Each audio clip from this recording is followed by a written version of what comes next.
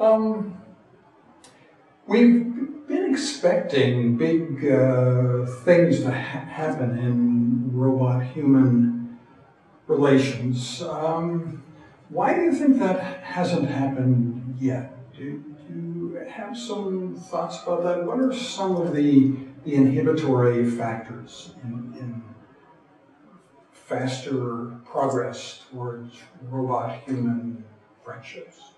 I think it's almost entirely a question of investment because up to now the main thrust of the interest in robot human relationships has come from Japan.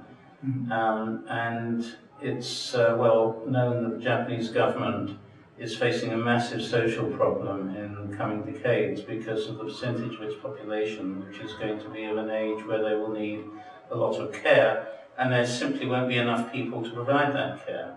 And so the Japanese government decided some years ago that the answer lay in developing robots, carer robots, to look after the elderly.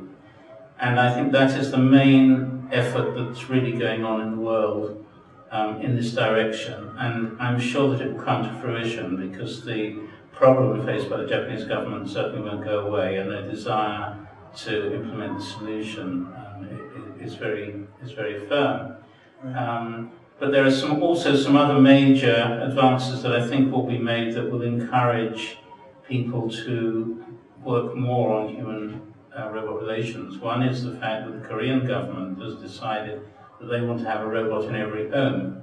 Hmm. And I think when you look at what's happening in Japan and what's happening in Korea, it's not difficult to extrapolate that sooner or later the Chinese will decide that robots are a good thing as well. Um, and so I think all of this effort that's going on in the Far East, I think will lead to um, a very dramatic increase in interest in robot friends, robot partners, robot carers, and human robot relationships in general.